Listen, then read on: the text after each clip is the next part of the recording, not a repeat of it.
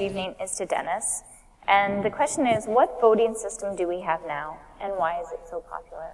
The question is, what is the system we use? And I imagine some of you are familiar with it, but for those of you who aren't, our system is called single member plurality. Uh, it's also sometimes called first past the post, uh, using a kind of horse racing metaphor. Uh, it's also known as winner take all. And uh, that nicely captures the kind of dynamic of the system, where uh, in a single member riding version of our, our voting system, um, one person wins. Only one person is going to win in the contest, and that is the person who has more support than anyone else. Sometimes that person might have a majority of the support in a local riding, but they don't have to. Uh, it's if there's a couple of people running, uh, if there's three or four or five people running, if they're all equally popular, well, then they could win with uh, 40% or 30%, or gosh, a couple of elections ago, we had a conservative in Saskatchewan who won with 27% of the vote in the riding. Uh, so that is the, the system that we use uh, right now. There's another variation of the system that we use municipally. Uh, so, for instance, Vancouver uses what we call multi-member plurality, or the block vote, or at-large voting. And again, it, it, works on the principle that the candidates who get the most votes are the ones who are elected to council, and the votes are cast from the whole city as like one riding. Um, again, you know, the, the overall results uh, don't end, um, it doesn't promise proportionality. Um, it promises that the person who's the most popular amongst everybody is the one who will win. Thank you. So our next question is to Barry. And what is wrong with the voting system that we have that it's just been unpacked by our colleague? Lots of things are uh, wrong with it, which I guess is sort of the premise under which uh, Fair Vote operates. As an introduction to this, one should understand that in my mind, there's no perfect voting system. Every voting system has flaws. There's just flaws of different sorts. The reason we have the system we have is because it's just been there forever. It's not that um, it ever was really enthusiastically adopted. It was just inherited it from the British and at a time when you had Whigs and Tories and not much else, I guess, um, in a two-party, uh, or basically a two-party system, um, first past the post, if you only have two candidates in a race, first past the post makes sense, or at least it certainly isn't uh, particularly troublesome. But in Canada, for the last, um, at least 30s, and probably since the 20s with the United Farmers, we've had a multi-party system. Not all the parties have sustained over time, but um, we certainly have had sustaining parties at least since the 30s um, and that in that particular situation, um, plurality voting does not produce a majority, which at one time it, uh, at one time it did. Uh, in, in, any case, what's wrong with the, uh, with the system now is that in fact it um, creates artificial majorities. Uh, that um, basically suggests that uh, in the last 75 years, that we go back to the end of World War II, um, there have been 23 elections in that time. During that period, there's only been two elections where any party has cleared 50% of the vote nationally. Yet in the vast majority, 60% of those elections, we nevertheless have created majorities. So it's an artificial system that's unrepresentative. The problem is that all the other systems have, have, have problems as well that we might, uh, might deal with. The reason I moved to alternate vote is that I think it's less radical and that indeed the public, I think, might be more likely to be convinced because it's a less radical scheme. So I'll have an opportunity, I'm sure, to, to talk about that in a little more detail in a minute. That indeed the, the issue of basically getting reform passed getting the public to accept, remembering that, again, I was very much burned in my own mind by that 2007 result. Um, PR could make a lot of sense in a lot of ways. It makes most sense, I guess, to us, and it's frequently talked in Canada, and I'll stop in just a minute because there's going to be other questions that allow us to get into this.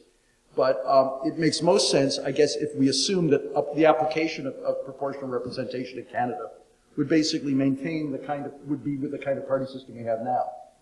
But I'm not at all confident that that would case. And when we look at cases, some other countries that have adopted PR have more troubling experiences with it than others. But that um, it in, inevitably is going to lead to more parties. It's also going to probably lead to a situation of permanent minority government, which minority government's great. In fact, these days, uh, I vote strategically basically to create minority governments. For much of my life, I just voted NDP regularly. Um, and uh, that ended, I guess, the second, when Harris came up for re-election in 99 was the first time I didn't vote NDP. and ever since then, I basically voted in my own mind for parties that would, um, or for parties in my, my riding. And again, I'm in the riding you just, you just ran it. Uh, that in fact would have an opportunity to challenge the likelihood of a majority vote. So for people, I don't know how, how many of you are from Waterloo, but uh, as I am, as, uh, as Diane is.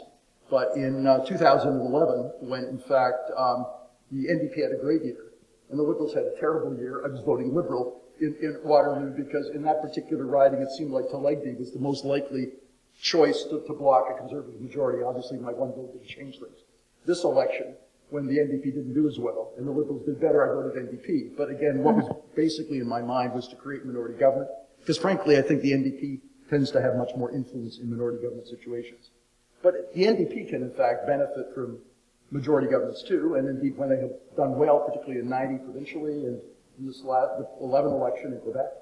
Um, even though the system of, of, of, of plurality elections bonuses the winners, basically gives to those that have and takes away from those that don't.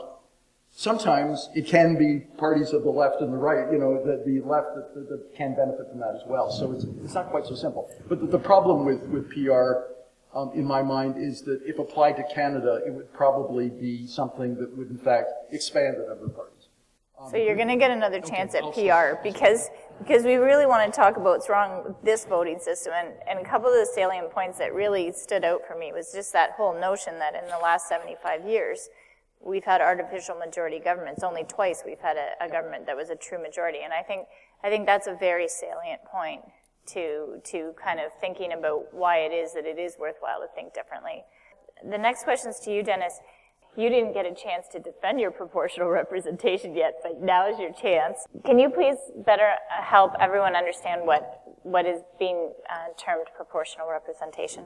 So proportional representation is just a generic term for a bunch of different specific voting systems.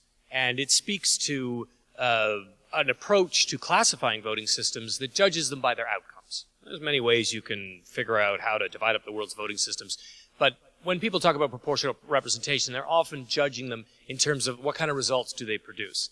And so proportional voting systems, in a nutshell, say, hey, you got 20% of the vote, you get 20% of the seats. That's the way that, you know, they work. Um, there are basically three major forms of PR. Now, you'll hear people say that there are tons of different kinds of PR, and in a way they're true because no particular voting system is exactly the same as the next one, but the details are often fairly small in terms of what distinguishes them. There's basically three kinds of proportional representation. There's the party list form of PR, and that's a system they use in Sweden and Finland and Norway and the Benelux countries.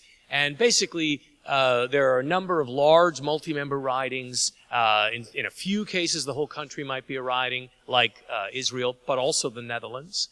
Uh, and so, uh, you know, parties run in these very large ridings, and at the end of the day, the returning officer adds up the votes for the parties and says, great, you get, you got 20% of the votes, you get 20% of the seats. You got 15%, you get 15% of the seats. Um, so that's, that's the way that the proportional systems work with party list. The two systems that have been most often talked about in the Canadian context are uh, the single transferable vote and mixed member proportional. Nobody's really talking about party list as a, as a system because of the geography that we have as a country. Nobody would think it would be a terribly effective way to do things. But we have heard a lot of people champion either of these two other systems, mixed member proportional and single transferable vote. I'm not going to give you a how to be a returning officer version of these systems. I'm just going to give you the broad strokes of what distinguishes them. So the single transferable vote works in multi-member ridings. Let's say you got a five-member riding. Now that doesn't, that shouldn't sound too strange to some of you because you may know that in fact in this country you, we use multi-member ridings quite often at the provincial level. So, um, so if you go back in time, you know, Vancouver used to be a multi-member riding. They elected, you know, three or four members from there. The city of Victoria used to elect three members. So multi-member ridings were fairly common in our system, particularly the provincial level.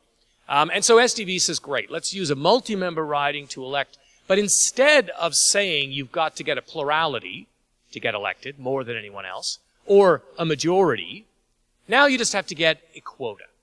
In a, in a five-member riding, the quota would be roughly 20%. That makes sense, right? If you say to somebody, what's the fairest way to divide up a pie amongst four people?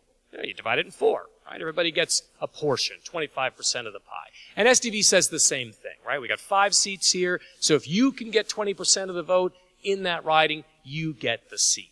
What's interesting about STV is that the voter is in the driver's seat about who the particular politicians are. Because the voter ranks the candidates, one, two, three, four, five, as much as they want. And uh, so it's, it's a fascinating, you know, very sophisticated uh, voting system. Uh, it's hard to figure out how it's all added up. Um, but to use it is fairly simple. Um, the other major system that we hear about is called mixed member proportional. This is the system that was basically invented in Germany. Footnote, actually Denmark used a system like this during World War I. But anyway, people mostly associate it with Western Germany, and this was seen as a great compromise between uh, the, the British and French influences of the occupying powers. So the British were like, no, the Germans should have first past the post because it worked for Britain. And the French said, no way, we don't want that. They should have some proportional system because that's what France was using at the time. And then America was like, you know what? I think the PR idea sounds good if it'll just keep everybody divided. And so they adopted this very unusual approach where they basically said, let's divide the legislature in half. Half the seats will be single member ridings, just like you would recognize in our system. The other half of the seats will be comprised from people who come from party lists. And basically, they run the election in the local riding, and they look at the votes that have been cast for each of the parties, and they say, okay, who needs more seats? If you were a party and you got 30% of the popular vote, right, they added up for the parties, but you only won 15% of the local seats, then they would give you the next 15% off your list. So in the end, the whole thing ends up being proportional. And some political scientists have dubbed the system the best of both worlds because it's got the single member riding that people seem to like in the Anglo-American countries, but it has an overall proportional result. So those are your, your three kinds of PR, you know, in a nutshell. And turning over to Barry, and you're in favor of alternate vote. And if you could help unpack that, that would be great. Yeah, I'll, I'll try to be a little briefer this time. The, um, yeah, basically, it's just a matter of instead of just putting an X beside your favorite candidate, as we do in the current situation, you go one, two, three, four, depending on however many candidates there are. If you only feel strongly about one candidate and don't want to provide a second choice, you're not obliged to. But what happens is kind of what happens in leadership contests. Um, and the, the, system actually exists, I think, only that I know of at a national level in Australia, the lower house. But um, uh, basically, the person who's at the bottom of the however many candidates there are, until somebody gets 50% of the vote, you keep dropping the person with the least votes on the previous count and, and sort of looking at their second choice. And if that doesn't provide the somebody getting to the 50% level, you go to the third choice and so forth. And what it means is, as Dennis pointed out, that you, we frequently, over half our candidates in, in this last election, receive less than 50% of the vote in the, um, in the federal election. Um, what it means is that the person who is going to represent the constituency is going to, by definition, get a majority because you're going to keep looking at second and third or however many choices until that occurs. And as Dennis pointed out, uh, there are cases, uh, the, the, Pierre Boucher, I think, is the riding I remember this time, where uh, the, I think the least popular vote somebody got about 28% of the vote in, the, in, in that, that particular that particular Quebec riding. What it what it does effectively then is kind of legitimize the local member. Now it isn't the reason I really like this kind of system, as I say, I, I kind of changed my mind a little after 07, um, is that in fact I think it's more sellable to the public because it's less fundamentally different from what exists now. Um, and I've just become very dispirited about the fact that something as dramatically different a change as PR, because PR has lots of things to be said for it. Some problems too, but there's certainly things to be said for it. For example, in this last election, for somebody who's very environmentally concerned, you basically had four, if you want to look in Quebec, four parties that were environmentally uh, oriented, and one less so, the Conservatives. That indeed, instead of splitting that environmental vote, people could go to a second, a third, and a fourth choice that was still preferable to the Conservatives. Now, depending on the configuration of any given riding, it wouldn't necessarily always come out the same way. There's one other attraction, though, about the alternate vote, which I think, you know, coming through the, uh, the, the, Harper years, which were certainly not to my particular political uh, uh, favor in terms of how things worked, what you tend to see if, if parties are concerned not just about getting, obviously they want the first choice, that, that's the desire, but at least thinking, and being conscious of a second choice or a, a third choice, that it's probably going to moderate politics. You're not going to see as extreme, certainly on the right and probably on the left too. You're, you're, it's basically going to, to lessen the likelihood for ideological extremism in the parties because they're going to be mindful of the fact that in many ridings they're going to have to pick up um, vote second alternate votes by people who would have otherwise preferred another party. Isn't locally here? Isn't this similar to what we do for our regional seats? Because our regional councillors essentially run at large for all of the city of Kitchener, or all of the city of Waterloo. So people can vote for two or three. Is it somewhat similar It's to not that? exactly the same as that. Because they're not Uh, it- ranking them? It includes some of the components of the multi-member district that, uh, that Dennis, but it, it allows people to go to a second or third choice. Right. Um, and so no, I wouldn't, I wouldn't compare it to the, the, Mm-hmm. that particular situation so much. What you described was multi-member plurality, or Okay. the block vote, like the, what I was saying in Vancouver, where you know you take people, you run them across, you know, at large in an area, and you you allow them to elect more than one person. And uh, but when we make when we look at the math of the representation, uh, it can lead to some really skewed uh, uh, results. Um, often it's not noticed if you don't have parties, but if you do have parties at the civic level, you can really see how, how it also it, it, it exaggerates a lot of the problems with the single member uh, first past the post. Oh, that's great. A lot of people here are familiar with that um, method, so I kind of wanted to use it as a tool to describe the differences. In terms of um, the alternative vote, um, how does how does Dr. Kay's alternative vote meet the criteria for a proportional system? Well, it doesn't, um, because it's designed to do something else. Uh, so the alternative vote is what we call a majority system, right? There's basically, you know, three, three and a half kinds of voting system in the world. Uh, you know, one is the plurality family, where you can have single member or multi-member. Then I've already talked about the proportional family, where you've got three, you know, greatest hits of the of the way that it's done. Um, you've got a weird, you know, bunch, like a little box full of what we might call semi-proportional systems that are used in different places. But the other major voting system are what we call majority voting systems. And so the alternative vote is a majority voting system. A different majority system would be like the system they use in France. Right? In France, you know, they have an election, and if nobody gets a majority, then they have another election two weeks later. And, uh, and you know, then someone usually comes out with a majority because the voters can figure out who, who is the front runner. At the pres- presidential level, they make sure it's a majority because they only let the top two vote getters run at the pre- presidential level.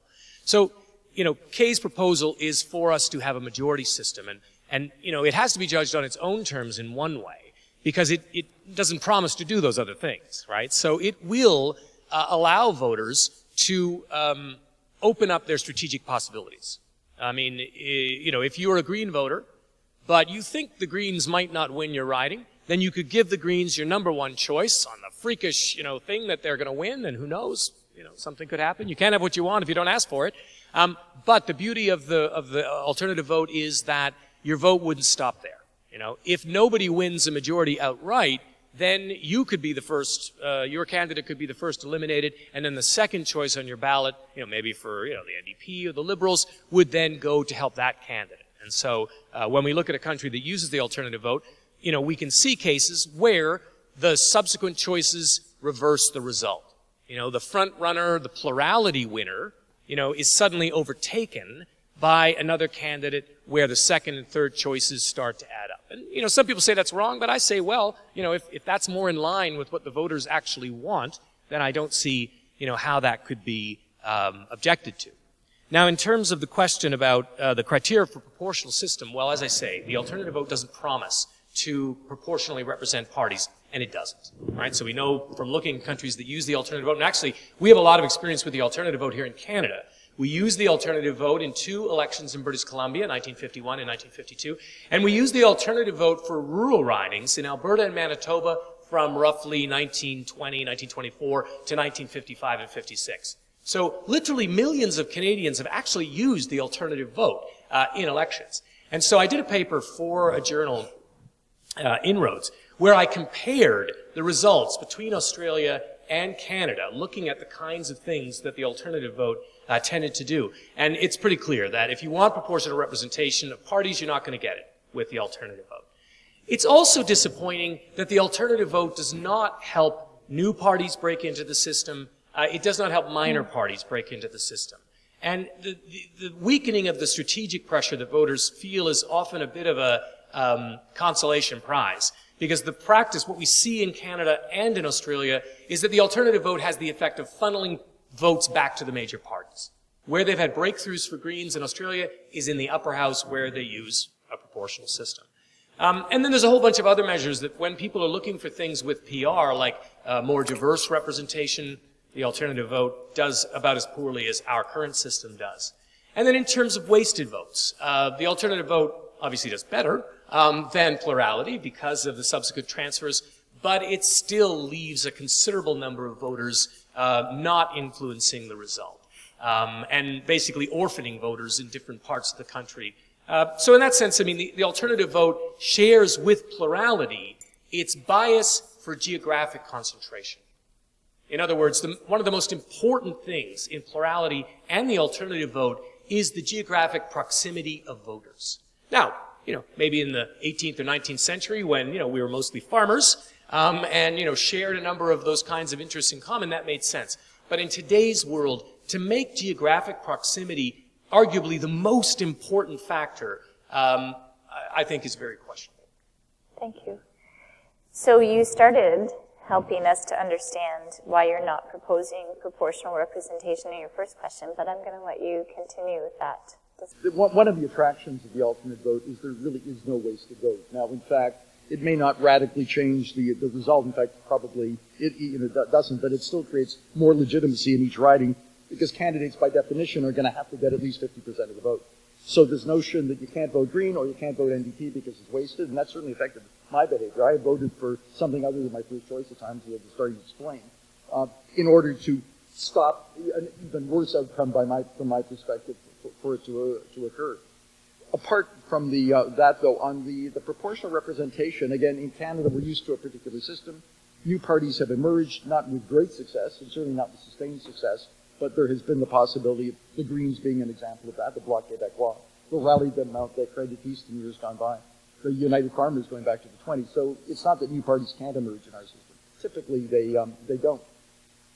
In countries that do have proportional representation, you can have, and again, it doesn't apply equally in all places, but you tend to multiply the number of parties. You tend to create a situation where the likelihood, in fact, the likelihood of majority basically becomes nil. Um, and that as a result, that indeed, not, this doesn't work adversely in all systems, but that frequently the creation of a majority, particularly if you've got parties of substance that are antithetical to each other, Italy certainly had that system where you had the communists at one end and strong right-wing parties at another end who would never go uh, uh, uh, be in, in coalition, meant that in Italy for many years, the Christian Democrats always were part of the government. Sometimes they, they had left-wing part, partners, sometimes right-wing partners but it was a system, particularly in Italy, that did not work well. Israel's another place that doesn't work well because of the fact that you've got small religious parties that basically bargain between the other, other parties that are in existence in terms of who they will support getting all sorts of various benefits for themselves. It's a system that can allow, and in some, particularly in the countries I just mentioned, does allow for small parties to have disproportionate influence because of the fact that they're less odious to, uh, to the parties that are looking for the coalition. So some of those small parties actually take on disproportionate influence. Um, and in many, look, I, I, guess the worst example in recent years is Belgium, which has other problems of its own because of the, um, the its bicultural uh, background. But where in fact putting together a coalition that included the, uh, the, the, Flemish and the Walloons basically meant that they were without gover- effective government for the better part of two years. Um, it, it, it, gives small parties the opportunity to hold up the bigger parties um, for disproportionate rewards in order to be included in the coalition.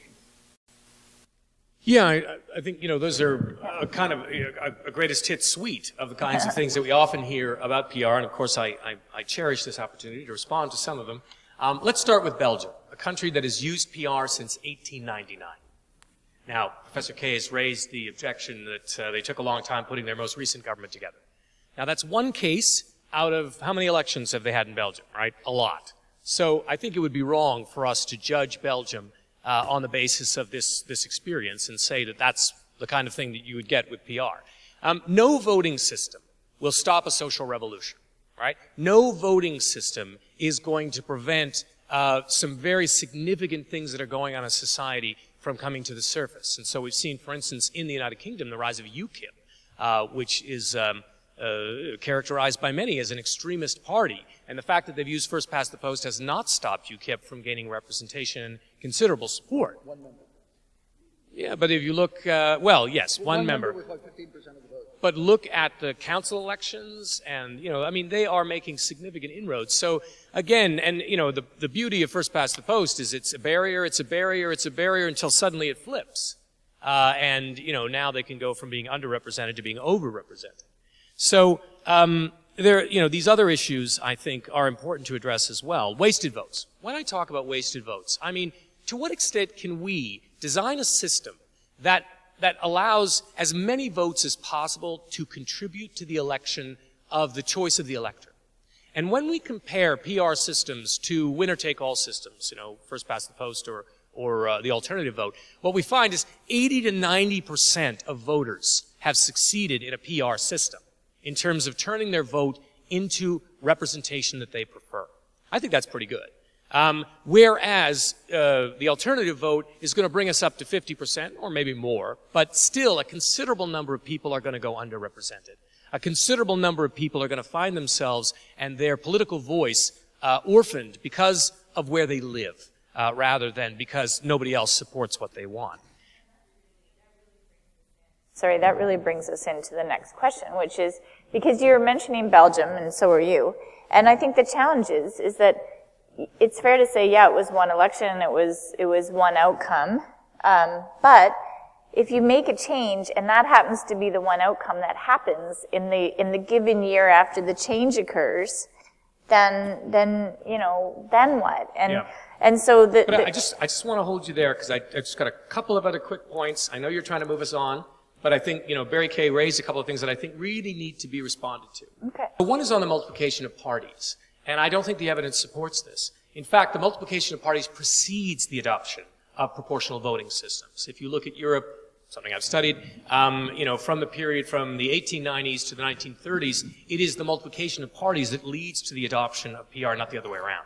Um, if we look at the number of parties, so the argument is often that somehow PR is creating the parties, when in fact PR is a response uh, to this increase in the number of parties. Uh, the number, the, the effective party measure that Lijphart, Arend Lijphart, uh, California political scientist, studied comparative voting systems, shows that actually there isn't uh, this, um, you know, multiplication of parties in PR systems. PR systems have on average 3.5 parties, and plurality systems have on average 2.5 uh, uh, parties. Um, on the disproportionate influence. Now, this is a big issue, right? We often hear the problem that somehow PR will allow the tail to wag the dog, that small parties will somehow have dis, we hear, this, I love it, disproportionate influence. Well, um, I, again, I don't think the evidence supports that. If we look at uh, a, a set of cases that are comparable to Canada, right, so we don't look at countries that aren't like us. I mean, Israel has some very particular problems that are, I don't think, comparable to Canada. Um, and so, uh, you know, if so, in other words, our, our case selection, I think, should be based on most similar cases. And if we do that, if we look at countries in Western Europe that are roughly similar to our political and economic development, what we find is that they have not had these kinds of problems.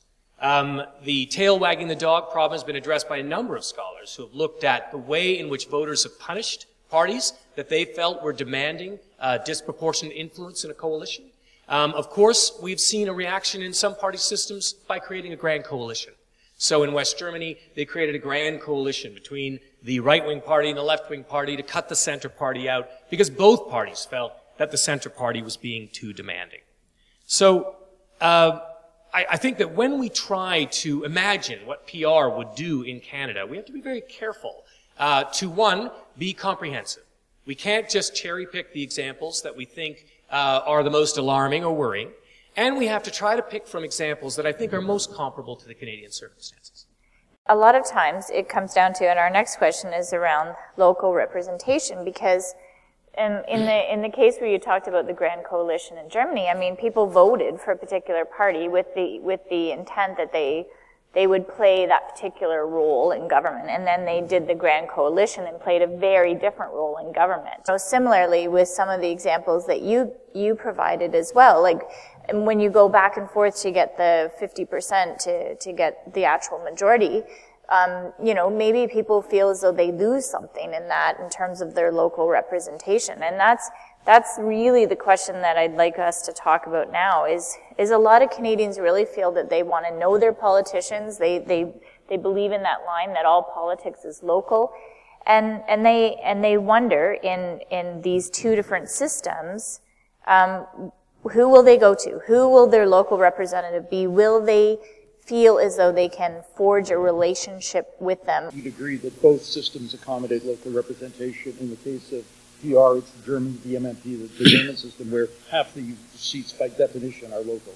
In the case of alternate vote, it's really like the current system, it, it, that all, all of the, all, all of the, the members are elected locally. It's just that the, it requires fifty percent because of this, uh, of the, of the second and third choice votes that, that creates it. So the notion of, um, of, of local representation, I don't think it need be compromised by either of these. You know, it's ironic, right, that Sweden has some of the highest levels of public satisfaction with local services, um, and they have no local representation in their national parliament.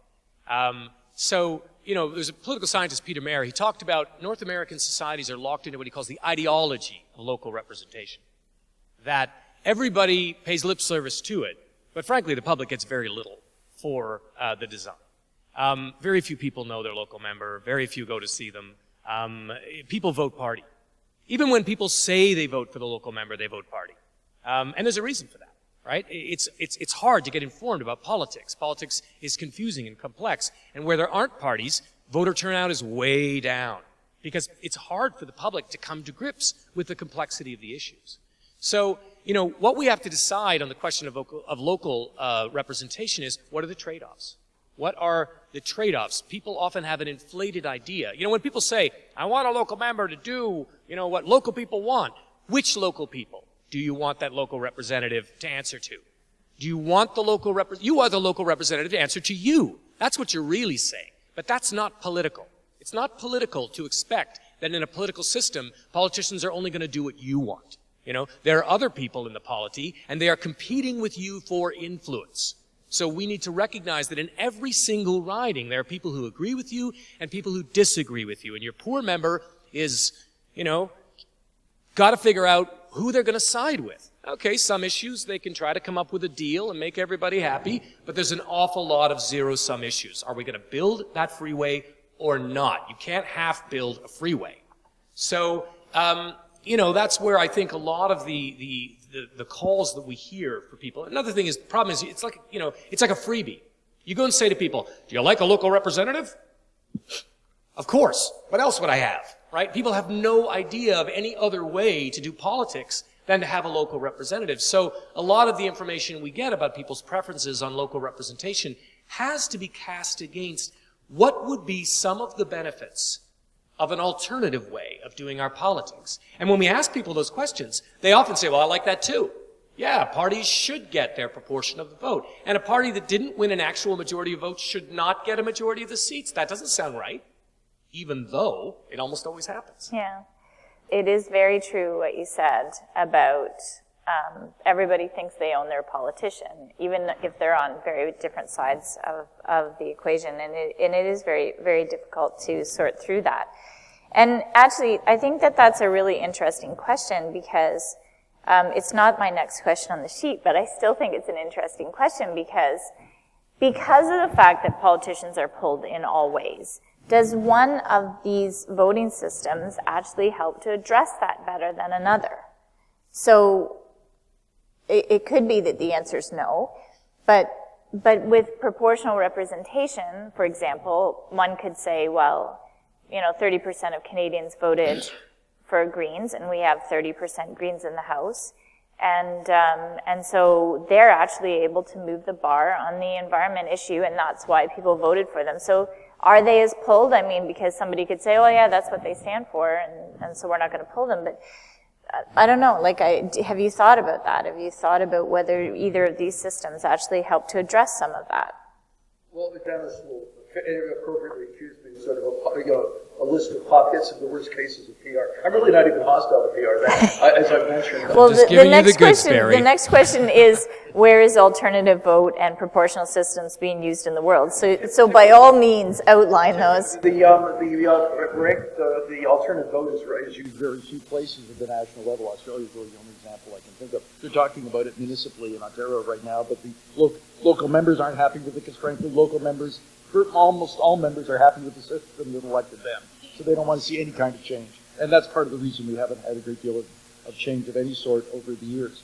In general, I think it's fair to say that the more parties that are within the system, the less movement, the, the likelihood to move. If you have a two-party system, there's a little more room for flexibility in, in terms of issues.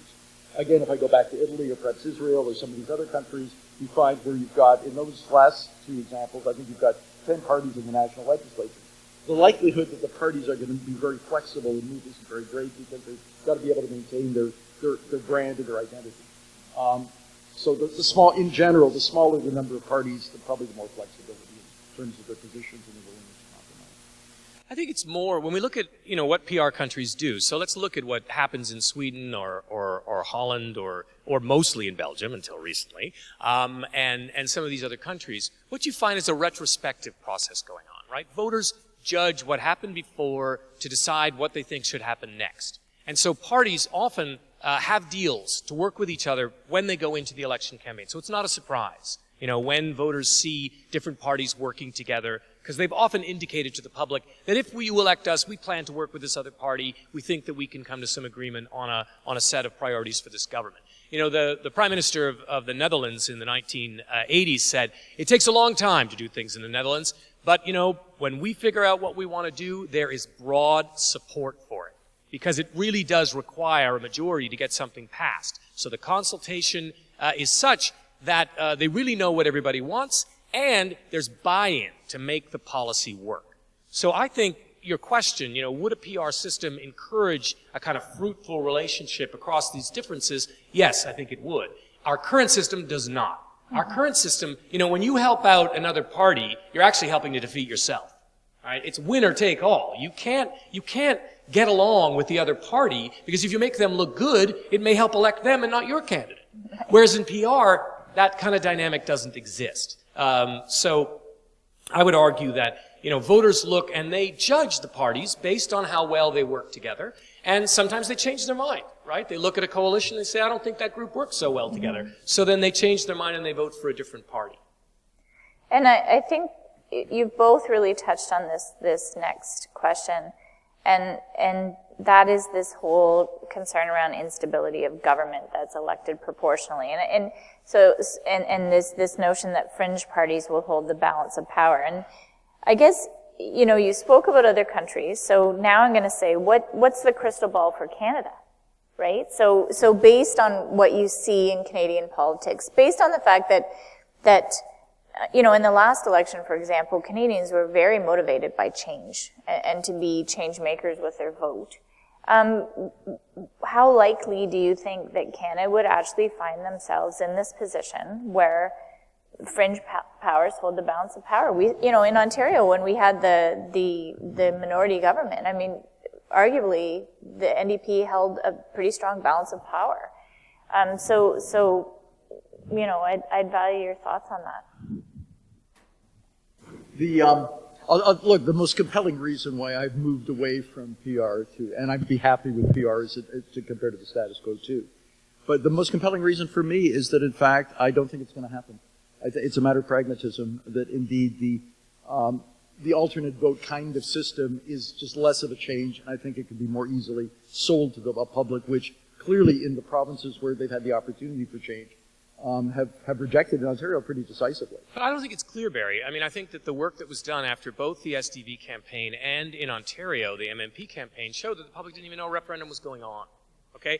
You know, we, we're, we're using the referendum results as an opportunity to say this is not what the public wants. When we, when we survey the public about whether they know there's a referendum and a majority say they don't even know what's going on, and even fewer can answer any factual questions about it, that's a clear failure of the government to promote the policy that they claimed that they were in favor of the public making a decision on. So I, I think the jury is absolutely out on what the public thinks about it. Um, the public knows very little about any of our institutions, and that's not their fault. I don't blame them. They've got busy lives. They've got lots of things to do. You know, they tend to accept the results of our institutions if the parties that they vote for accept them. So there are various aspects of our electoral system that are quite complicated. You know, the formula that's used to work out the riding boundaries and the process by which these boundaries are established this is not in the living rooms of the nation, right? This is being handled in the traditional elite way. We've got a bunch of political scientists, we've got a bunch of party hacks showing up to meetings to try to influence where the lines are drawn. And for the most part, the public says, okay, that looks good. What does my party say? And when the party kicks up, when the party starts making a fuss, then their voters go, well, there's a fire over there. Maybe I should go and see if I should help put it out. Um, it's the same with the voting system, right? Part of the problem we have now is that somebody got it in their head that it was a good idea to go and ask the public to micromanage this process of democratic reform. And that was unrealistic. It was unrealistic to expect that the great vast majority of people would say, yeah, Pilon's book looks fantastic. I'm going to read this. No, they're not, right? Um, so, I, I, to me, it, it, it, what the public thinks is neither here nor there because the public is not on the driver's seat of this issue, right? In the, in the 150 years, the 18 countries across all, you know, the, you know, the Western industrialized countries, the, the key driver of change was what the party system wanted. And that's still true. Uh, so if we move forward on this, it will because, it will be because our liberal government wants it or thinks it's in their interest. And Barry, I think, could be right that this liberal government thinks that the alternative vote is the system that's in their interest, and they will promote that. But I'm not so sure. I'm not so sure. I think there are divisions in this current federal liberal government. Uh, and I think right now they're working them out. They're trying to work out a process because they don't actually agree. There are some liberals who think a proportional system would be the right way to move forward. No. And, and there are some liberals who say, uh, no, don't change anything. And others who think, yeah, this alternative vote sounds good. You really think the liberals, given that the liberals aren't always in power, but indeed would prefer a system which almost by definition would mean they would never have a natural majority, um, to a system where, not all the time, but frequently, the liberals have had majority governments. It's hard for me to believe, again, I, I'm very much a believer in the fact that politicians, like the rest of us, but politicians especially, act in terms of their self-interest. Uh, I, I just find it very difficult to think that the liberals would seriously countenance a system that would basically mean that they would never again have, a, have a, the ability to have a majority. And yet systems change, right? So I mean, you know, Barry outlines, you know, a classic rational choice argument that, you know, people are, it's in their self-interest to keep the system, they have the power, ipso facto, it follows the system will never change. But it does change. We do have cases of national voting system change in countries. And so it really depends on the kind of politics that are going on in the country. And I would have agreed with you about the Liberal Party until recently right? I mean, Liberal Party in 1919 adopts PR, gets in power, doesn't introduce it. Liberal Party in 1934 adopts PR, gets in power in 1935, doesn't, 35, doesn't introduce it. Right? Liberal Party, you know, in, in 1978 under Trudeau says, you know, let's look at PR. You know, 81, they go to Broadbent and say, let's talk PR, but they don't actually do anything. So the Liberal Party have got a long history of courting this issue and then abandoning it, you know, at the mantle. Uh, and so in this case, I would have expected the same thing. I was totally expecting. They would just kill this in committee. But then they come out at, after the election and reiterate their promise to change the system. Not just they're going to have a committee, but this is the last election that we will have under the current first, first past the post system. So yeah, maybe that means they're, they're setting us up for AV. But I don't know. So on the alternative vote though, I, I think that a lot of, the, the media is obsessed with the complex, the complexity of ranks ballots. And I would, and I would suggest to you that in all likelihood, the broader citizenry would, would allow themselves to be confused by that complexity well, as well. confused by all sorts of things. You still basically have these single member districts. It, other than just putting an X beside a candidate, you can still just put a one and leave it at that, but you have the choice of being able to go beyond just your first choice and do alternate. And so what do you think happens though when people basically stack their their ballots. So now all of a sudden your your people are coming to your door, they're knocking on your door and saying, I want well they're they're basically saying vote for one person and vote for me. Right? Like don't don't don't use another vote on anybody else because I want to make sure that I win for sure. So you need to go in and and and in the change system though, the, the system that we're talking about, um, in some ridings, they would naturally get 50% and do now. It gets a little more complicated and varies from riding to riding. I would argue it's more understandable and more acceptable, and for that reason, there's one other thing I just wanted to add because I think we're yeah. the question shortly, uh, and that is if in fact it's deemed appropriate to have a, um, a some sort of public referendum or sort of uh, commitment to the system. I think whatever the system, be it um, PR or alternate vote or frankly anything else, the notion of abstractly endorsing it before the fact is part of the reason why, in fact, it was rejected so soundly. I would suggest that any kind of change should result from the fact that you try it for a period of time, I would argue, a couple of elections, perhaps a period of eight to ten years, and only then, it, it, at that particular time, you, you, would then go back to the public and see, having experienced it, whether in fact they like that system or they prefer to go back to what they had. On that question, because that's really where we are right now, is a referendum required? And this is this is a constitutional question. So constitutionally, is there a requirement for a referendum? It needn't be, but in, fa- I wouldn't be surprised if in fact a campaign was drummed up that this is a fundamental change. Even in Ontario, when we had the referendum, of course, we didn't even clear 40%, but they had the pref suggesting that there had to be 60%, and there were some other conditions as well in, in BC. Um, I, I, I have a hunch that the public relations of it would suggest that, excuse me, that uh, there would probably be the suggestion at some point a public imp- imprimatur would be placed upon it. I'm just suggesting that it not take place before the system is tried, but after you've experimented with it for at least a couple of elections. The question is, the media is obsessed with complexity. Yes, they are. They're obsessed, right? It- it- why? I don't know. I mean, I, you know, the people It of sells Ireland, papers. you know, the people of Ireland use the single transferable vote. Uh, I can't believe that they are, you know, that much smarter than we are. Um, but that's the implication, right? The implication is Canadians are too stupid to use a system other than an X. Uh, now, one way we can test this with evidence is we can say, what is the ballot spoilage in the different systems? And did you know that the ballot spoilage in Ireland is lower than in Canada? More Canadians make a mistake with their ballot making an X than the Irish do numbering them one, two, three. These systems are complicated to count, and AV is not complicated. It's not complicated at all. Um, it's more, it has more steps than plurality, but it's not complicated. Single transferable vote, MMP, yes, these are complicated to count, but they're not complicated to use. So that's just, you know, more media muck racing. It's not, it's not a real thing. It's just make and drop. Right. Um, when we look at the evidence, it's just not supported by any evidence. And, and, and the way you deal with problems of election administration is you administrate.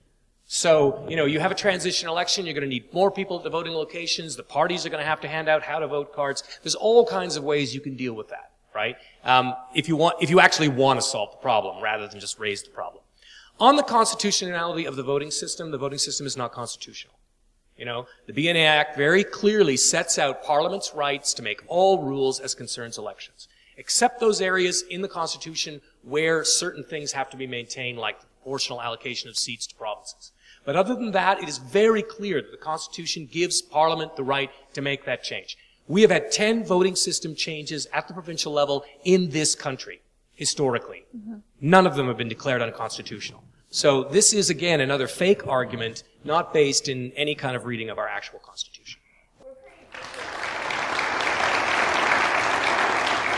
We're pretty privileged today, actually, to have these two professors with us who have dedicated their their life's work to considering these types of systems. So it, it's a real privilege that you're here. So you might want to seize the opportunity to get up and come to the microphone and ask a question. Uh, my name is Dino, and I'm concerned uh, traditionally with the system we have now. Uh, politicians aren't saying vote for me because I'm the best. It's don't vote for them because they're not the best.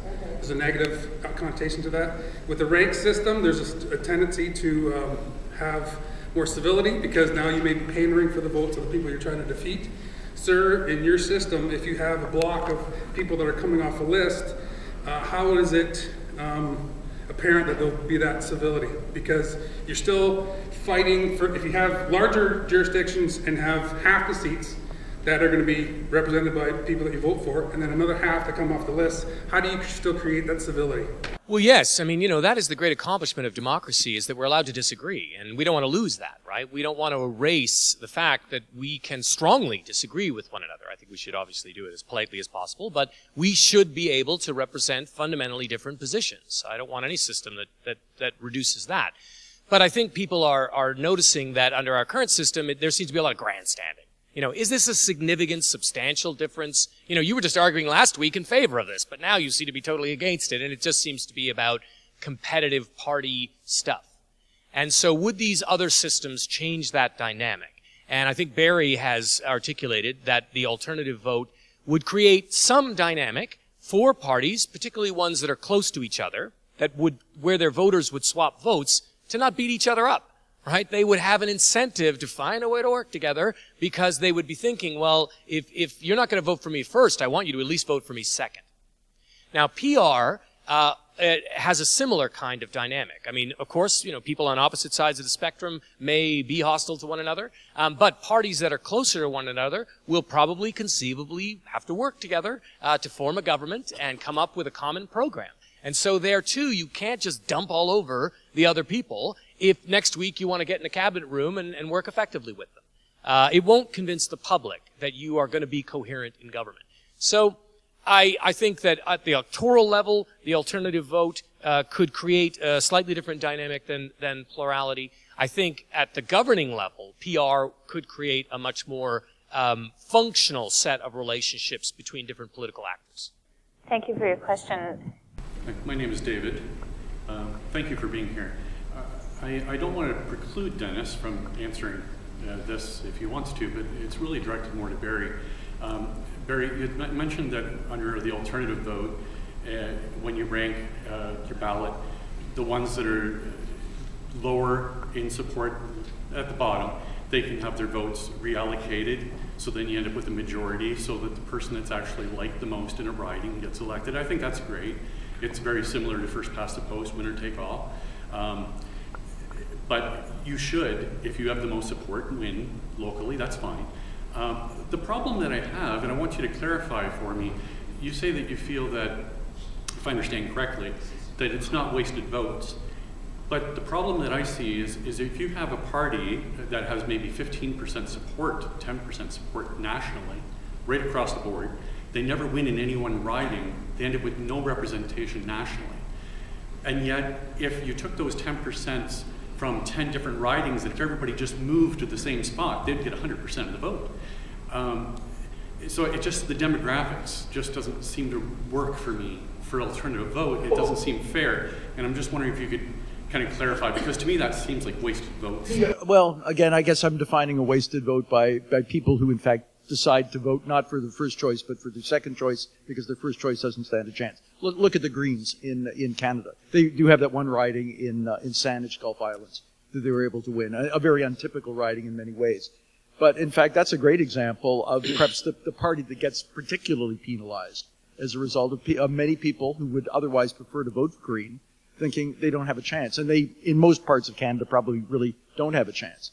It, in, in the the system I'm talking about, they can vote for their first choice. Is it fair? Absolutely not. Without question, PR is a much fairer system. I don't think we, we disagree with that at all. The, the trouble with PR, and I, I'm not particularly troubled by this, but the people who criticize PR feel that in fact it leads to less stability and can in fact lead to real problems with regard to, to instability in, in terms of coalition formation. Maybe Canada would not act like Italy and Israel and so forth, and I, I, I understand that. Uh, maybe, in fact, look, the Christian Heritage Party might well emerge in this situation. Uh, it's not just the Greens. There's parties on the right that, in fact, may feel that they're doing a little bit better as well. I'm not at all challenging the notion that first past the post or alternate vote variation on that is a fairer system. It's not. Okay, so you're not saying that. It, oh, it's not fair at all. Okay. What it what it is, there's, there's no other benefits, votes. but as I mentioned at the very beginning, every system we talk about has some shortcoming and it's a matter of sort of weighing up which shortcoming, at least under, uh, I think alternate vote is more achievable, and that's really the reason I've tried to support it, or have been lately supporting it. Uh, that alter, alternate vote is a much more modest variation on the current, and therefore I think there's a better chance of it actually being um, put, put, you know, put it, uh, being uh, put into place. Whereas I, am afraid that I'm, I'm no longer able to dream, as because much of my life I actually I have been totally in support of everything Dennis has said, but I, I've just reality has caused me to feel, particularly after the, the rejection in Ontario in, two, in 2007, I just don't think it's going to happen. And in fact, I'm prepared to at least look at the alternate vote as something that will perhaps uh, lessen the extremism in, in Canadian elections and at least create the circumstance whereby local candidates are going to have to get 50% of the vote from somebody, where, you know, in, contrast to what happens now. I'm in no way suggesting that alternate vote is fairer. It's not. Thank you. But in, in a way, I mean, the alternative vote is more unfair to parties like the Greens. Um, because at least in the plurality system, a party whose support is diffuse may pick up a seat or two, uh, may win a riding with you know 35% because they can manage to you know put together some votes in a particular riding or the way the vote cuts they can win. But under alternative vote, that would be completely eliminated. Uh, so it would make the entry of new parties even harder. And the evidence we have from uh, Canada and Australian experience is that the alternative vote makes uh, party competition less, you know, it, it, it, it entrenches uh, existing parties uh, and funnels support back to them. Uh, so in that sense, I mean, you know, those who want minority representation but not geographically located, and the examples that Barry gave us earlier were all geographically located ones, right? So uh, the Bloc Québécois becomes the loyal opposition of the country. Um, you know, in 1993 on the basis of the fact that its votes are very, very close to each other. Uh, so regionally concentrated parties can get representation in first past the post, but spatially, you know, parties that are the support is more diffuse um, have a very difficult time. I just want to say thank you for clarifying that, Barry. It sounds like you both agree that nationally, the alternative vote does not represent people. Yeah. Pro- Probably, I For mean, sure. again, we're speculating in terms of its impact, but in general, I would tend to agree with most of what Dennis has said. I have a question about alternative vote with respect to Australia. It seems that Australia is the, the major system that we talk about when we talk about alternative vote, but I don't understand how Australia works. Like, it seems, in, in terms of his, historically, it, it seems to have a bunch of right-wing parties that are, I don't know if they're competing against each other, if they're all running in different ridings, and then I don't know how well Australia actually manages to elect uh, anybody from small parties, although uh, Professor Pilon is suggesting it's, it's not. And I don't really have a good sense of whether, when we're talking about uh, alternative vote, we should be thinking about it, uh, can, how well we can compare it to Canada. Okay, thank you very much. So if, if anyone had troubles hearing that question, it was, um, it was really about Australia.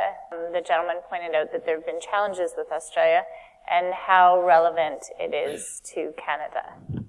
I mean, Australia is fascinating. Uh, in, in many ways, it looks like Britain. You know, it's got a, a Labour Party, it's got a right-wing party. Um, uh, you know, so in that sense, it departs from Canadian experience, where we did not develop uh, a national left-wing party until the 1930s, uh, but both the United Kingdom and Australia developed left-wing parties coming out of the 19th century. Uh, so, you know, not not exactly comparable, but in some ways comparable. Um, the adoption of the alternative vote, like most voting systems, was about power.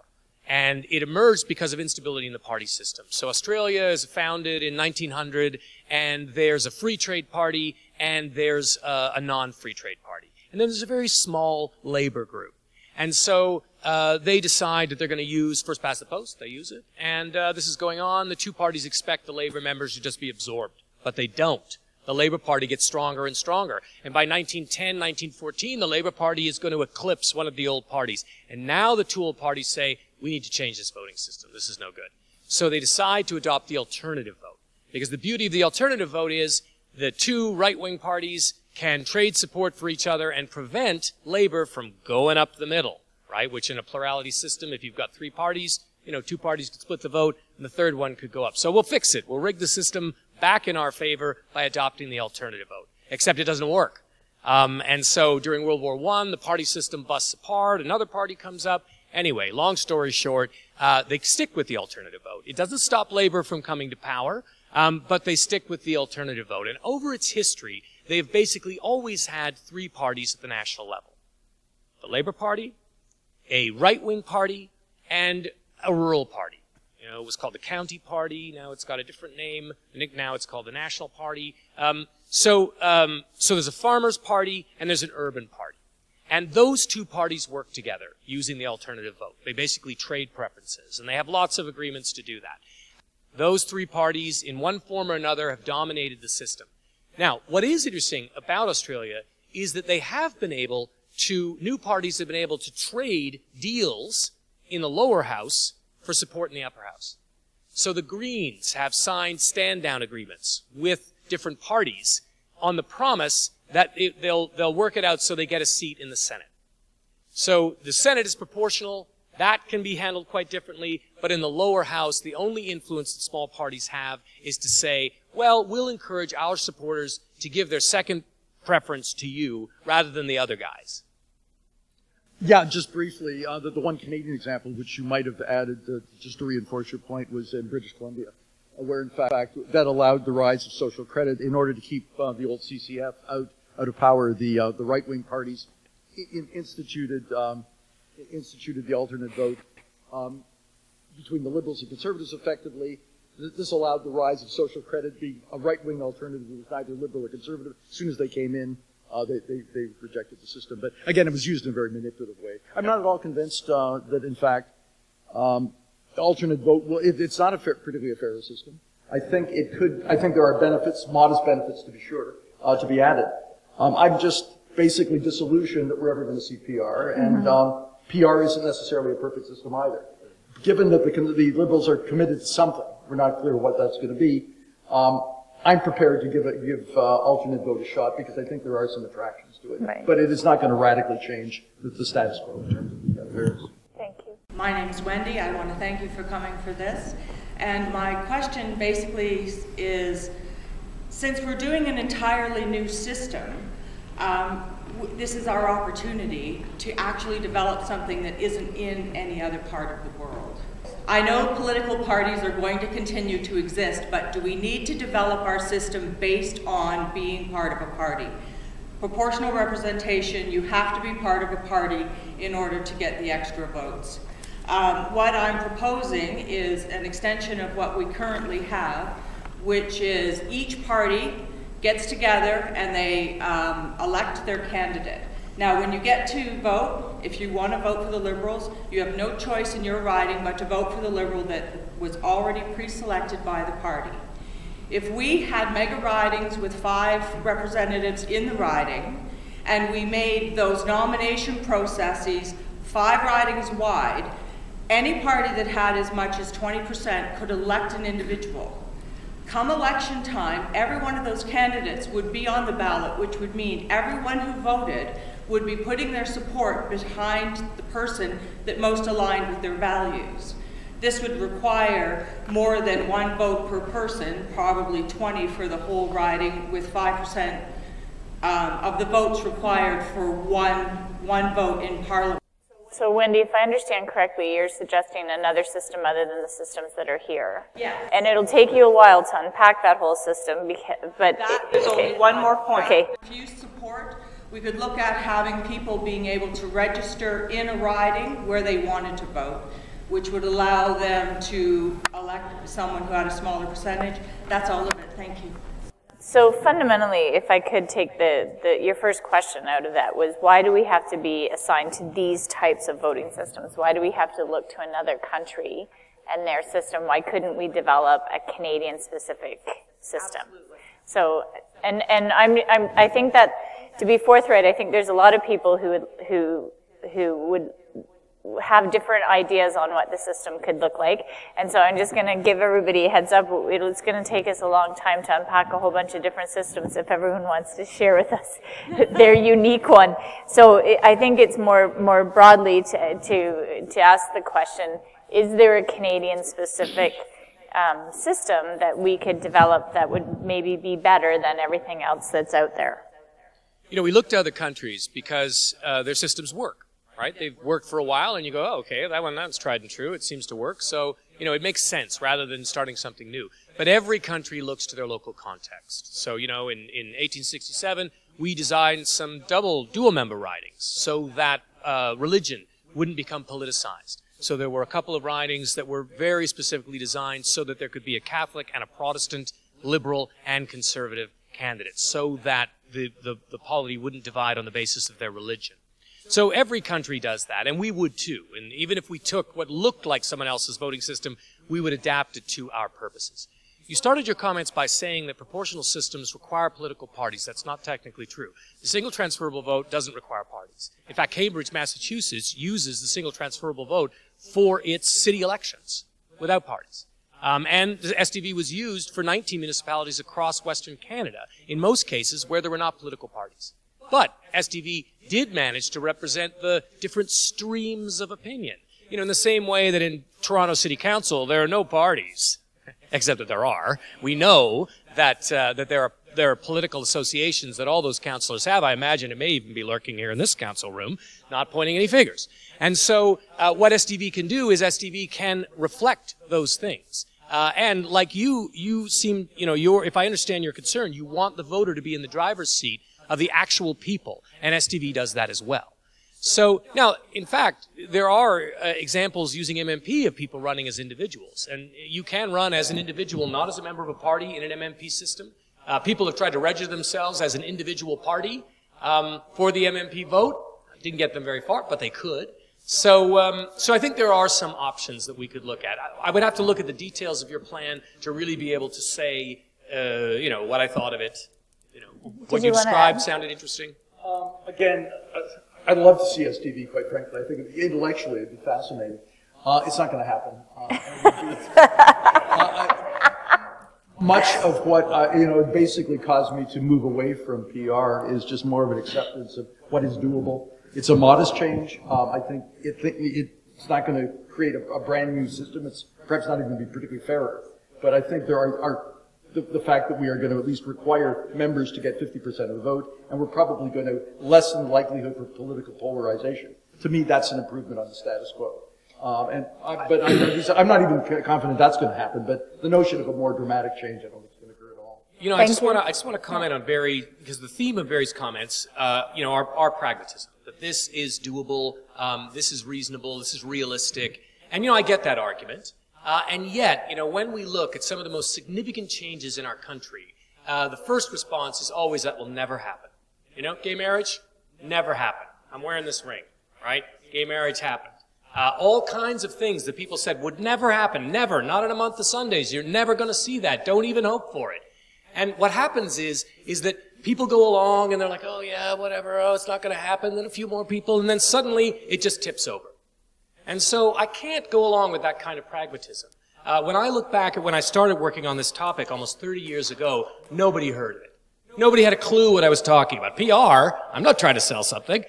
But now, look at what's, what has happened. PR is on the lips of every political party. People who are politically active know what proportional representation is. People understand in a comparative way what other countries have accomplished by using proportional voting systems. It's not so easy to pull the wool over the public's eyes as it was 30 years ago when nobody had any clue about it. But, frankly, most of the public knows nothing about it. So I think, you know, we're continuing to work on it. We're continuing to press on it. We're looking for openings. And this government has opened a door like no government has opened a door before. And I don't think we should give up, you know, the game before it's even really started. So, you know, I, I get the pragmatism, but the time for pragmatism is not now, right? Right now, we should push for the maximum of what we want. That's the way you bargain. You don't go into the employer and say, you know, hey, you know, just give me whatever you want. No, you always ask for more than you think you're going to get. And that's what we need to do right now, I think. Thank you. Let, let me say, though, this is not the only opportunity. We've had re- the recent opportunities I mentioned provincially. And goodness, the NDP was in power provincially in, in uh, 1990, and in fact, had the, and there were plenty of polls that suggested that, in fact, they were not going to win that subsequent election. They had the opportunity to alter, you know, to change the political system, and for whatever reason, they chose not to. Um, again, I, I, I, in a night, in a better world, I'd like to think that some of what you said applies. I'm, I'm less confident, though. Please go ahead. Good evening. My name is Gordon Nichols. Thank you very much for taking the time to come this evening, gentlemen. Uh, I really appreciated uh, your comments.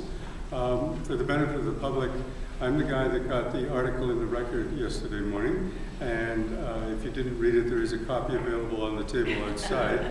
Uh, Clearly, I was trying to make a case for mixed member proportional, but with one small change, and that was that instead of using first past the post for the um, constituency component, we should replace it with um, what you're calling alternate voting. I call preferential voting. It's the same thing uh, with the difference in my proposal that you only rank the first and the second candidate, whether you go for two or all 10 of them, if there's 10 on the ballot, that's something that would get worked out in the details.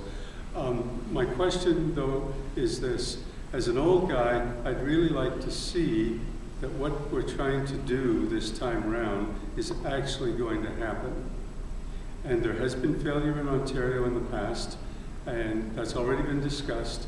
And in the past election, if you look at the way the percentage voting went, almost 70% of Canadians voted for three parties that ran on a platform of saying, we want change.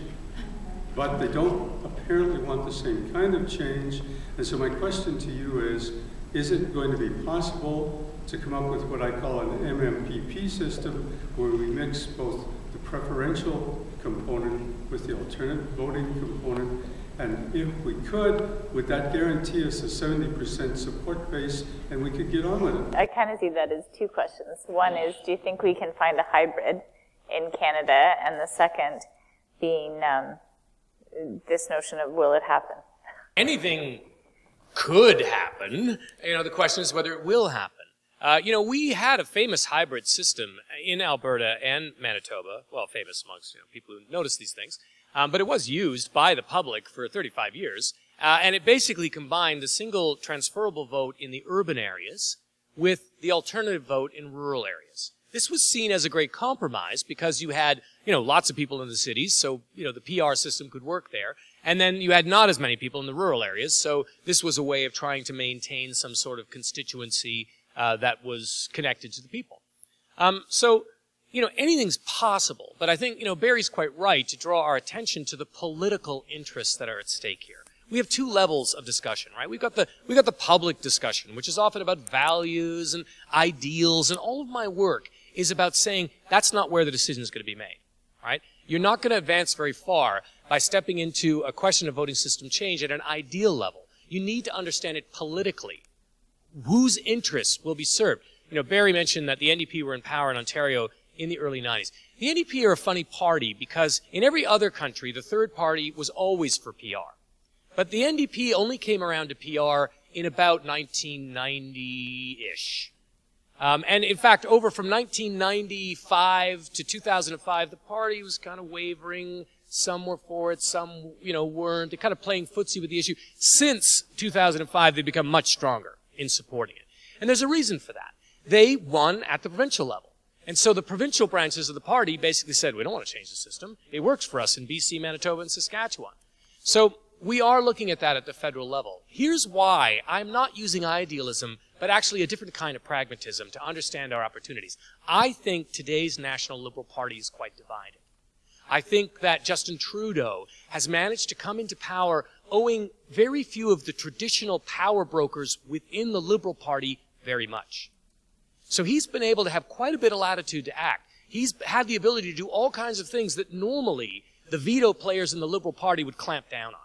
You know, you're not going to do that. You know, we got to pay off our favors. We got to get our funders, you know, in line. But because he came to he came to power when the party was looking, you know, pretty bad, um, he doesn't owe them anything. Now, how long that will last is an interesting question. But what it means is that, you know, crazy stuff could happen. You know, he could decide to ignore a whole host of traditional veto players in the Liberal Party to advance this, but it will depend on who lines up in different, in, in different areas. On this combination of AV and MMP, that's actually been used in a number of Eastern European countries, uh, where they've used AV for the local ridings and then a kind of MMP, usually not quite proportional, uh, for the national allocation. No, only that indeed, I guess I was just counting, there have been six provinces that have had provincial NDP governments at one time or another in, within my memory. And none of them have Yep. basically, for whatever reason, including probably self-interest. Yep. Uh, I'm not sure the Liberals are going to be any more noble about it than the New Democrats were. Thank you, Gordon. Who is next in line there? I, I don't want to beat this, uh, hog this horse about the, um, Barry's point about the pragmatism of a change that isn't such a significant change. I, I think I agree with the previous speaker. 70% of Canadians said we want something to change. And to me, the question is, well, is the resistance to change, specifically um, to your point, Barry, is it is it in the public that is would be reluctant um, or hesitant to take on a substantial change, or is it the parties themselves? And if it's the parties themselves, particularly the leading party, because I think the, the other parties at this point perhaps would see an advantage in a system that allowed them to have some representation rather than effectively none.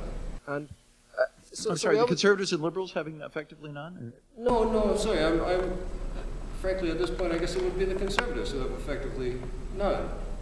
Um, having gone from, from a, a complete majority to the loss of a, complete loss of majority, and, and really not having much of a say in what happens in the governance of Canada for, for four years. It, it, it strikes me that when we talk about the self-interest of parties being not met until they achieve this thing, this magical position called majority. Isn't there something in a minority government where, where the parties have a, a solid position to play that is advantageous to them? Um, to, to put it differently, to have continuity through each election cycle rather than to have a stop and start kind of relationship. A couple of points there. Um, the conservatives, and I mean, the conservatives are out of power now. I think they harbor the dream that they will again one day be in power. Maybe not in four years, but at some point, just as the liberals would have felt that way when they were they were out of power. I think their their hopes for the future are a majority down the road.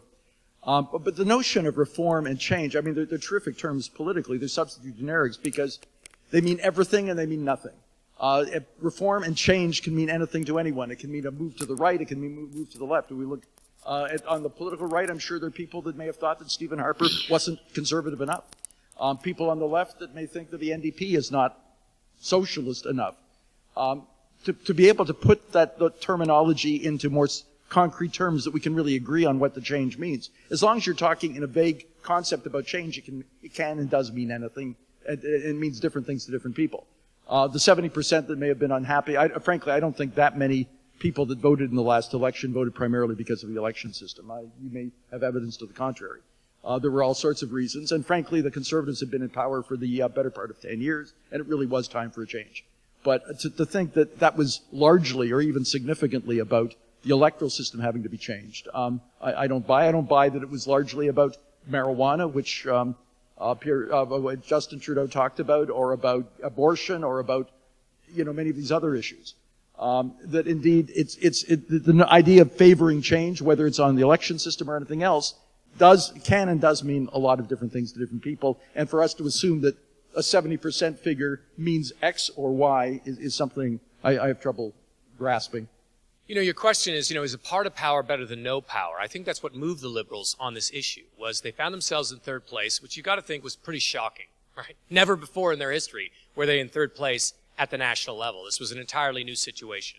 And there was no guarantee that there was going to be any recovery right? They had Dion, that was a failure. They had Ignatieff, that was a failure. Now they got this new guy. You know, nobody knows what's going to happen. And uncertainty is a ripe formula for turning to things like PR because PR basically nails things down, right? Instead of falling further, you can basically shore up your support. And so I think that the liberals said a piece of power would be better than no power. And that got the issue onto the table. I think a lot of people, and I think a lot of liberal supporters were alarmed at what the conservatives were prepared to do with their majority government. Uh, and I think that, uh, um, you know, the, the, conservatives were always more vulnerable than people realized. I mean, 39.5% of the vote, that was not a stunning victory for Stephen Harper's majority. But frankly, 39.8 for uh, Trudeau is not that stunning either. So, you know, it's not, there's no, no guarantee that what's happened now is unchangeable. There's, you know, the, the, the, the classic argument is, I'm out of power now, but pretty soon I'll be back. And the reason parties want that power is because there's a public face of politics and a backroom face of politics. The public face of politics is, hey, truth, beauty, and justice, and sweetness and light, and babies, and picnics, and all the stuff that we all agree on. And the backstage is, okay, I'm paying you off because you gave money to my party, and I'm going to change this law to benefit this group, and let's have this lunch over here with these millionaires. Now, if you don't have a majority government, you can't do that kind of stuff, right? Not as easily. So, so the parties will, the main two parties will fight like hell to keep first past the post because it's essential to their business model as a party. But when that system is broken, when they don't think they're ever going to get back to the trough, suddenly alternatives start to look good. So the question you got to ask yourself is, are the liberals feeling lucky? You know, do they think that it, this is the return to the normal? Is this, are we back to the good old days? You know, it's, it's, it's the liberal party of the 20th century. We're back. Or do they understand their own vulnerabilities? Do they understand that they are a hairbreadth away from being tossed back to third place or back to the opposition benches? And if they do, if their internal research, and they've got very, very smart people working for them, if their internal research says we're a lot more vulnerable than we look, they might be prepared to trade the current system for a system that will put them at the center of every coalition that we've, we've ever seen. So, you know, I, I think the liberals are probably more open to a discussion than I think Barry does. And uh, thank you, gentlemen, for being here and uh, for hosting it as well. Uh, the um, Barry, this is directed at you. Uh, I, I come to this meeting wanting to understand the differences between proportional representation alternative voting, and so on. Um, and, and also to hear a case for and against each of them, uh, each of those classes of, of, of, voting systems. Um, I, I'd be interested, Barry, if you could articulate briefly, beyond the fact that it's doable, um, uh, what are the advantages of, of moving to uh, a proportional or, uh, or, preferential voting or AV over the existing system? Because if, if the only reason to do it is because it's doable, but it doesn't achieve a significant amount of change, why do it? Well, the key word, I guess, is significant. Um, it, it, can be characterized as a band-aid, I guess. I, I, do think it's an improvement on the status quo. I think, in fact, eliminates the need for, um, uh, again, the strategic voting or uh, and the, the, wasted vote concern. And, indeed, Dennis suggested maybe it's true that the, the, the, Green Party or the NDP, for that matter, would do particularly better in, in this kind of system. I think time will tell. But what it does mean is that no new Democrat or Green Party supporter or Christian Heritage supporter or any other party supporter who isn't of, of a party normally in power, at least can vote for the third party of their first choice. It also means that there's a democratic legitimacy to whoever gets elected in the various 338 now ridings across the country will in fact have been endorsed at some level, not necessarily always as the first choice, but at some level will have been endorsed by 50% plus one at least of the people that are voting. That is an improvement. I think it is, it is, I'm not even sure it's doable, quite frankly. I'm not optimistic even about that. But indeed, I think it, it, given the political circumstances and the fact that the public has in fact show, shown in Ontario and BC and PEI has shown a rejection of change. They have not felt that the current system is broken enough. They may, people may grumble about it. 70% may talk about change, but change can mean anything, as I was. Well, 58% in BC in the first one is usually a win right? I mean, 58%. I mean, the government that won didn't get 58%. Uh, again, you know, BC was the closest example, and in fact, perhaps should have been employed, been introduced at that time. I would certainly argue that 50%, if 50% is enough for Quebec to separate, 50% is enough to at least try a new electoral system. Um, but the fact was that was that that happened in large part because BC had a very unusual set of election yep. results previously, including an election where the governing party got fewer votes than the opposition party. Yep. That's also happened federally in Canada a couple of times. In 70, yep. 79 was an example of that. Uh, the next time around, it wasn't endorsed quite so enthusiastically. Nonetheless, um, again, I'm my position. Again, I've, I've, been a largely a supporter of PR for most of my life. Uh, but indeed, I'm just sort of coming to deal to grips with reality. I think it's an improvement on the status quo. It's not nearly as dramatic a change as Dennis is suggesting. I don't think Dennis's proposal and indeed what Fair Vote generally supports, the idea of PR, I just don't think it's going to happen. And indeed, I think it's worth a try to at least try and, and remedy the situation a little bit. And maybe, in fact, if it is deemed to be an improvement, because we're speculating about what the results of alternate vote, or for that matter, what PR would actually uh, be down the road. We, we, can't be sure that it would, wouldn't be like Italy. We can't be sure that it would be like Australia. We're, we're speculating about that. You may be right. But indeed, I do think that it's an improvement. I don't suggest in any sense that it's a dramatic change. It isn't. So we're just going to go on to our next question. For Professor Kay, you mentioned one of the arguments against PR is that it uh, disproportionately favors the smaller parties. I was hoping you could expand on that. Well, that, that, that gets into the complexities of the political system. There are political systems where, in fact, small parties have had disproportionate influence because you've got two large parties um, I mean, Israel's one example I'm familiar like with. Like the bloc? Well, other yeah. than geography Our and the bloc is, is disproportionate. Um, yeah. Although at, at, the time the bloc was in power, that was uh, the bloc at the zenith was not was not in a minority government situation. Yep. Uh, but yeah, the bloc with Quebec only support, with candidates only in Quebec, was in fact the official opposition with 54 seats uh, out of uh, 300 or what, and whatever it was, or 308 or whatever it was at the time. Yeah, uh, there are circumstances where we can see where small parties have had disproportionate influence because the two large parties would not, in fact, be able to agree with each other, and they start making deals with smaller parties to, to give them all sorts of benefits, even though they represent a very small proportion of the population. I'm not saying it's going to happen in Canada. I don't know. Maybe we'll get a pensioners party.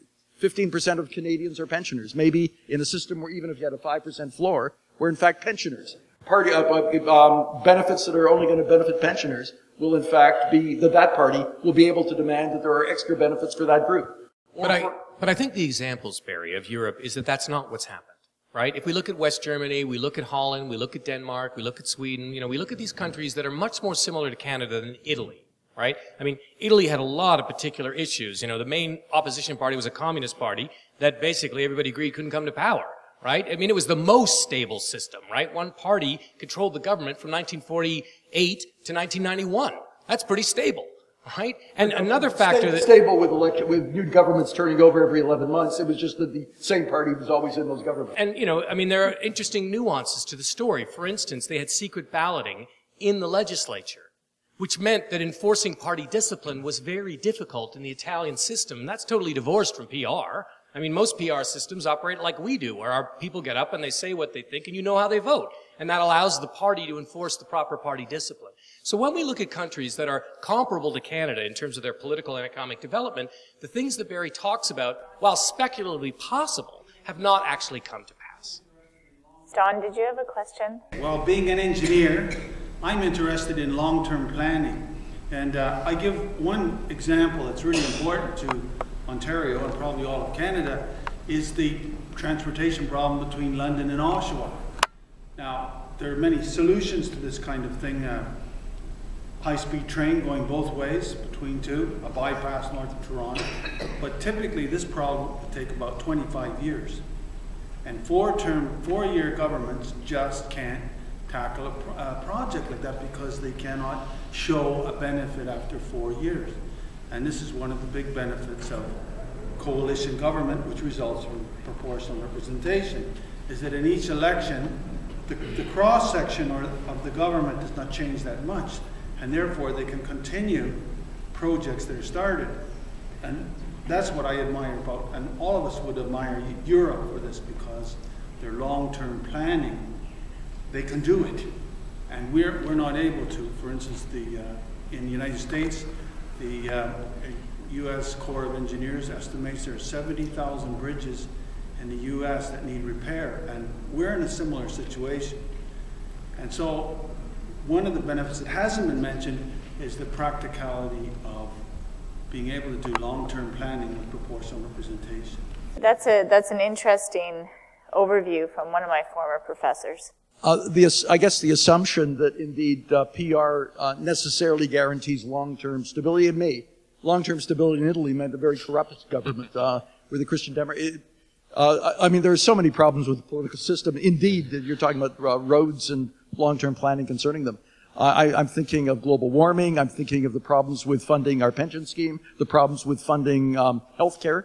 Um, as the population ages, uh, that in fact there are lots of problems that keep getting kicked down the road um, by by governments because they're thinking only of the the next election, the next two, three, four years, not not what's going to happen in 15, 20 years or, or further down the road than that. The answer to your concern is really longer terms of government instead of having elections every four years. If we had them every 10 years or 15 years, then indeed we would have much more stability. Um, you may, it may be that, um, that PR would in fact allow for that. I'm not at all convinced that indeed the different parties would necessarily act in concert. Maybe it wouldn't be as crazy as Italy. I don't think it would. Um, but that, I'm not at all convinced that parties that are in conflict with each other electorally are necessarily going to be not thinking about the next election and how they can game the, system relative to their others. I'm not sure. I'm not convinced at all that PR would solve. The problem you raise is real in many ways, not just about highways. But I'm not at all convinced that PR would, in fact, ameliorate that kind of situation. Well, I mean, again, I think what we need to do is try to look at some evidence and see, you know, have PR legislatures, again, in countries that are comparable to Canada, have they been able to engage in more long-term planning? And you know, one of the problems that is identified with first past the post, and would also be true in the alternative vote, is what uh, people call policy lurch. Uh, so you, because you have these decisive shifts in government that don't really follow, you know, what people have said with their votes, uh, you can have a party, you know, introduce a set of policies, the next party comes in, takes those policies out. Party comes, party B comes back, puts them back in, next party, famous example is British Steel. Nationalized by labor, denationalized by the conservatives, renationalized by labor, denationalized by the conservatives. I mean, who benefited from this kind of policy lurch? Again, my example from the Netherlands, where the prime minister said that it takes us a while to work out the policy that we're committed to. But because we have to get a real majority uh, in, in the parliament, the work that we do is worth it. Because by the time we've come to a decision, we really have heard a lot of stuff. And we really have built up the relationships that will make the parliament, make the policy work. It's not enough to pass a policy, right? You need that policy to actually have some legs in the community. Who are the people who are going to make this thing, this thing work? First past the post governments are standing on a very, very narrow foundation, not broad enough to get the kind of support to engage in the long-term policy uh, planning that you've just discussed. I don't think the problem is the public. the public gets it. You know, they are often fine with the idea that we're going to commit to something now that will pay off later. The problem is in the electoral incentives of our parties. And first past the post, and frankly, the alternative vote as well, privileges the now because it's a fight to the finish. And if you win, you win it all, right? For a very short period of time. In PR, parties don't have these illusions. They don't have an illusion that a snap election is going to deliver some wildly different result. They're probably going to be uh, pretty similar to last time, maybe a slight change. So they have an incentive to think long term in terms of their partners. The challenges they face are often just the unpredictable stuff, right? Economic downturns, disasters, you know, things that they can't predict, but they nonetheless have to respond to. Thank you.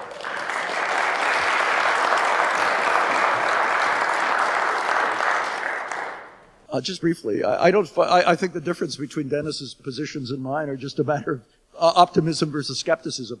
Um, that indeed, I, but I, I, would suggest that uh, Europe is going through some some challenges now, and that indeed I'm not on the issues of refugees, but on, on many others as well.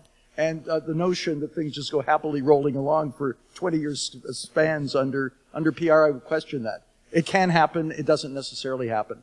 Um, again, uh, you know, again, I, I, I, don't think we really fundamentally disagree. We have, uh, there's sort of nuances in, in, terms of differences. I'm just not at all optimistic that the current governing system that we're going to have is going to allow a change of the electoral system. When we've had electoral, most of those changes you mentioned, you know, I was uh, remembering when you were talking about in Alberta back in the 30s, uh, most of those people who experienced alternate vote then are now dead. But indeed, uh, there aren't that many people that have really lived under any kind of alternate system that we've had. Um, I do think alternate vote is an improvement. It's not a dramatic improvement, and I haven't tried to suggest otherwise. Uh, but that indeed, I think that may be as good as it gets coming out of this liberal government. Dennis obviously is more optimistic than I. Well, I, think optimism versus you know pragmatism is the wrong way to do it. You know, it's, it's I have a different analysis of the power dynamics I think that are possible and the things that could affect the decision making of those leaders. Um, I don't think the problem is the public. Uh, you know, when the STV AV system was adopted and used for decades in those provinces, there was not a revolt in the street. People were not eschewing this new system. Where's my British voting system? You know, none, none of that, right? People did it and went along with it because the parties they supported were prepared to accept it, and the same will be true in this country. People cannot like something they don't even know, right? They've never experienced. You go and say, well, do you want something different? You know nothing about it. It's totally different. Most people are going to say no. Um, so once they experience or see the value of it, or we see how their interests are answered, I think the answer, you know, could be different. Um, yes, Europe is going through lots of changes. Uh, there are lots of things happening. There's been some interesting research on the rise of extremism in PR systems, and there are extremist parties have emerged. But the research suggests they don't get very far. That the mainstream parties won't touch them, or won't work with them, or won't introduce the policies that are important to them. And what happens is that after a while, the voters then go back to the other parties. So it's not that PR, you see, our system says, you know, there's a possibility of extremism. We better make the system really uncompetitive. We better deny people what they say because we've just got to be, we got to worry about this extremism. Whereas under the PR systems, okay, yeah, they let the extremists come out of the woodwork, but they don't get very far because they still have to get their friends and neighbors to go along with their extreme ideas. And thankfully, they don't. On stability or instability, I just want to mention that when we try to measure those sorts of things, we can go at it a number of different ways. One way is we can look at the number of elections that different countries have, right? If you have an unstable political system, you would expect them to be elections happening more often than, say, in our system, which is so stable. Actually, there have been fewer elections in PR systems than in our system. Um, we could look at the tenure of the government. So how long, you know, do governments stay in place before there's a significant shift? Again, PR systems are almost as long. Again, you know, leaving out Italy, which I have to say, you know, the two eyes, Italy and Israel, they're always at the top of the list for people's examples, uh, but they really are outliers. Um, you know, nobody, nobody says Zimbabwe. There's your proof that first past the post doesn't work. Look at that mess. Right? Of course not, because, you know, the problems in Zimbabwe obviously have very little to do with the voting system and a whole lot to do with everything else. So I think nobody here is arguing that the voting system is going to lead to sunshine and lollipops for everyone, right? We are still going to have to face the difficult uh, differences that we have. But I think the evidence of a hundred years of use in Western Europe is that these countries, barring cataclysmic challenges, have managed to grapple with these changes in a more deliberative and democratic way. in a way that has allowed people to air their differences. But ultimately, when a decision is made, it really does reflect a majority, and sometimes much more than a majority, of what the people want. And, you know, I am not afraid of democracy. I think the problems of democracy are answered with more democracy. We don't solve the problems of democracy by removing people's ability to make these kinds of choices. And our current system is just too undemocratic.